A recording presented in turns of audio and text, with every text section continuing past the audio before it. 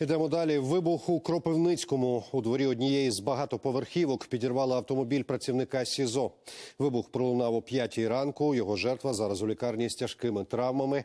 Правоохоронців та медиків викликали інші мешканці будинку.